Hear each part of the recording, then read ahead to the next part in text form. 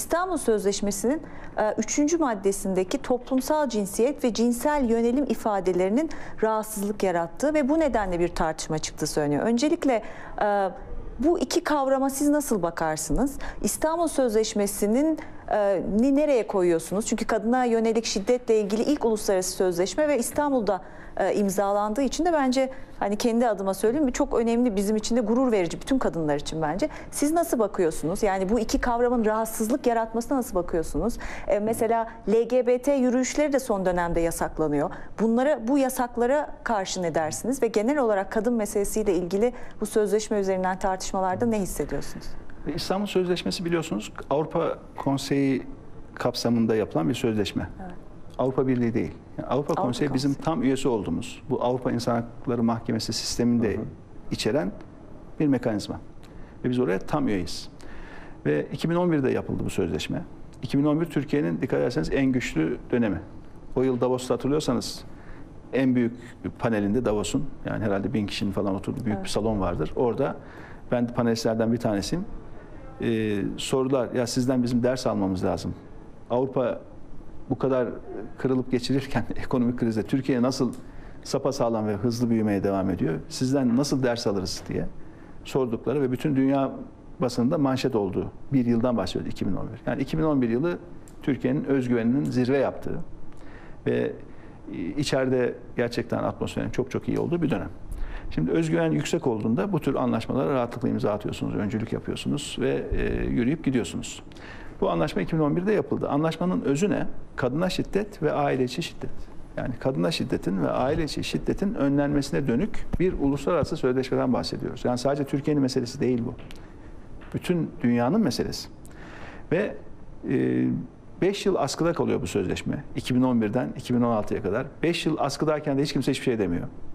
Dönüyor dolaşıyor 2020 yılına geliyoruz. 9 sene sonra aa ya bu sözleşmede şu mu vardı bu mu vardı. Şimdi ben herkesten şunu istiyorum gerçekten. Herkes bir okusun. Web sitesinde var. İstanbul Sözleşmesi'nde ne diyor, ne yazıyor? Yani orada hani kulağa tırmalayan 9 sene önce kabul edip de bugün ya yanlış yapmışız denilen ne var? Şu anda herkesin ortak bir ilkesi olmalı. O da önce insan. Yani insanı merkeze alacak şekilde bakmanız lazım. Hele hele bu sözleşme yani ka- tamamen kadın odaklı bir sözleşme. Kadına şiddet ve aile şiddet. Her gün bir başka kadın cinayetiyle uyanırız. Yani yazıktır, günahtır. Yani inanın her haberde işimiz bir cız ediyor. Yani sebebi ne olursa olsun önemli değil. Şimdi fakat aması yok bu işin. Yani bütün o bahsettiğiniz ifadeler var ya hep ama fakat ifadesi. Yani kadın mı kadın? Yaşam tarzı şöyle böyle olabilir. Yani yaşam tarzıyla insanları yargılayıp da yani tersten okuduğunuzda eğer yaşam tarzı farklıysa şiddet hak ediyor mu? Bunu mu diyeceksiniz yani? Bunu söylesinler göreyim hani dilleri varamıyor ama tersten okuduğunuzda bu İstanbul Sözleşmesi ile ilgili her türlü değişikliğin altında eğer yaşam tarzı farklıysa şiddet hak ediyor ifadesi vardır. Yani bunu nasıl savunabilirsiniz? Yani o çok şey? İnsan- kapsayıcı bir madde yani çok da akıllara, güzel bir madde. Akıllara durgunluk verici bir şey yani. Böyle ayıramazsınız. İnsan insandır. Yani hukuk karşısında herkes eşittir. Yani bir, bir hayat tarzı farklı diye yani şiddete böyle yumuşak bakan, kapıyı açan, kapıyı aralayan böyle bir şey olamaz düşünemez. İnsan, inanın akıllara durgunluk veriyor. Ama ne yapıyorlar şimdi? Belli toplum kesimlerine WhatsApp gruplarıyla dezenformasyonla bu İstanbul Sözleşmesi'ni bambaşka şekil olarak anlatıyorlar. Görmüşsünüzdür o dezenformasyon dokümanlarını. Neler aynı neler söylüyorlar yani. mesela. Yani gerçekten bağlamından koparıp tamamen partinin AK Parti'nin kendi o taban ki o taban da daralıyor. Her geçen ay daralıyor. Onu da görüyorlar. O tabana farklı bir algı oluşturup bakın bizden başka bunları dillendiren yok deyip yine kutuplaştırıp sen İstanbul Sözleşmesi'nden yana mısın yoksa karşı mısın diye kutuplaştırmacı, ayrıştırmacı bir siyaset üzerinden bir tutum var. İnan çok üzülüyoruz. Ama buna. AK Yani Parti'nin yazıktır. içinde buna karşı da bir direnç var gördüğümüz kadarıyla. Yani AK Parti de bu konuda tamamen fikir değiştirmiş değil. Yani Aynı AK aklı- Parti'nin kademin çalışmalarıyla da aslında İstanbul Sözleşmesi'nin e, İstanbul'da yapılması da o, o dönem gerçekleşti. Yani azıcık hani aklı başında olan, okuyan. Yani şimdi yani Kur'an-ı Kerim indiriliş sırasına göre ilk ayetidir ya oku değil mi? Oku ya insanlar bir okusun lütfen ya biraz ya baksınlar. Ne yazıyor burada bu anlaşmanın neresinde ne var yani? Şimdi tamamen hayali bir algı oluşturup o algı üzerinden anlaşmadan çekilip bir de uluslararası anlaşma ya. Yabancılar da bizim iyiliğimizi hiçbir zaman istemez ya. ya bu İstanbul'da ev sahipliği yapmışız. %100 tam üyesi olduğumuz bir kurum bu. Ve eğer tartışılması gereken bir madde varsa Avrupa Konseyi'ni çağırırsınız toplantıya. Dersiniz ki ya bu maddenin şurası yanlış olmuş. Ya da rezerv koyar. Gelin gelin biz bunu değiştirelim dersiniz. Eğer gerçekten 9 yıl sonra bir hata fark edilirse. Bu tamamen tek taraflı yapılıyor ve Siz Türkiye eğilimi- içinde yapılıyor. Eğilimi yani. ne yönde görüyorsunuz? Kaldırılmasına yak- yakın mı görüyorsunuz? Şimdi biz e, öncelikle Yani İstanbul biz parti Sözleşmesi'nden programımıza- vazgeçilebilir mi? Biz parti programımıza yazdık. Yani hani kadına şiddetle mücadelede Türkiye'nin imza attığı bütün uluslararası anlaşmaların biz arkasındayız diye imza attık. Bizim parti olarak tutumumuz çok açık. Şimdi bunu test edecekler. Anketler yapacaklar yine, bakacaklar. Ee, tutar mı tutmaz mı? Bu ne kadar oy getirir, ne kadar oy götürür? Hesap inanın bu hesap yani. Peki, Ama yazıktır ya Ama burada hani kadın ve şiddet söz konusu. kızları hani bu işe taraf e, oldular. Hani o yüzden benim kafam karışık gerçekten merak ettiğim için soruyorum. Yani Türkiye İstanbul Sözleşmesi'nden vazgeçmeye adım adım yaklaşıyor mu? Yoksa bu sadece kof bir tartışma mı? Yani kitlelerin e, bırakalım e, konuşsunlar. Şu İstanbul Sözleşmesi bir, öfkelerini bir- atsınlar gibi bir şey. üst hukuk normu. Evet. Daha sonra bizim kendi bir iç hukuk normumuz var. O da 6284 sayılı yasa biliyorsunuz 2012'de çıkan.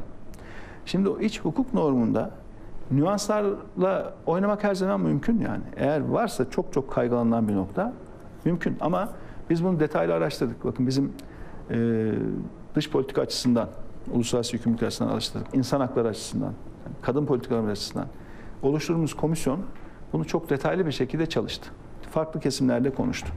Ve nihayetinde bizim parti olarak geldiğimiz nokta bu sözleşme konusunda biz çok netiz. Yani bu sözleşme kesinlikle muhafaza edilmeli.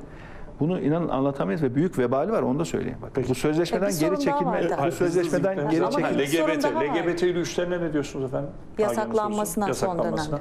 Çünkü serbest olduğu dönemler Şimdi var. şöyle bu konuda da bizim tutumumuz açık. Yani biz insanların yaşam tarzını olduğu gibi kabullenmeden yanayız. Yürüyüşe. Devletin o zaten gösteri özgürlüğü çerçevesinde düşünmesi gereken bir konu. Yürüyebilirler, yürümeliler diyorsunuz.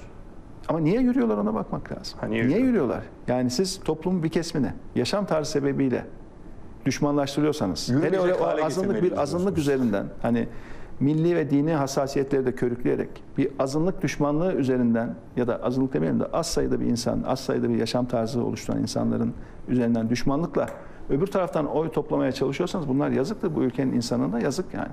Şu da var tabii. Yani aile kavramı da çok önemli. Yani sağlam, sağlıklı bir toplum ancak hani sağlam ailelerden oluşur. Yani aile yapısını sağlam tutmak, korumak da önemli Devletin bir konu. görevidir. Yani e, devletin anayasal görevi ama sadece anayasal görevi olduğu için aynı zamanda yani dünyada örnekleri çok. Yani sağlam toplumlar, mutlu toplumlar sağlıklı aile yapılarını da yaşatan toplumlar aynı zamanda. Yani bunu da önemsiyoruz ama bu önemsediğimiz, savunmamız gereken bir konu. Fakat öbür tarafa geçtiğimizde bir yaşam tarzı varsa bunda olduğu gibi kabul etmek zorundasınız ve dönüştürmek gibi devletin öyle bir görevi yok olamaz. Yani bu binlerce yıllık tarihte bu hep vardır. Kutsal kitaplarda olan konulardır bunlar. Yani Evet. çok detaylarına belki şimdi Peki. girmek belki şey ama e, dolayısıyla e, ben tamamen açıkçası şöyle okuyorum. Bakın Türkiye'nin devasa sorunları var. Türkiye artık ekonomik olarak büyüyemiyor. Türkiye'de istihdam istihdam sadece son bir yılda 2 milyon 600 bin kişi azalmış. Peki. Türkiye'nin gençleri işsiz. Türkiye'nin kadınları çalışmaktan geri çekiliyor. Kadınlarda iş gücüne katılma oranı çok düştü. Yani kadınlar iş aramaktan vazgeçti. Nasılsa iş bulamıyorum artık diye. Onun için de işsiz sayılmıyorlar iş aramaktan vazgeçti. Şimdi bütün bu devasa sorunların üzerine örtmek için sürekli yeni gündem maddeleri. Bakın biz bu programa başladık başlayalım ne konuşuyoruz? Ekonomi kaç dakika konuştuk? Gerçek sorunları.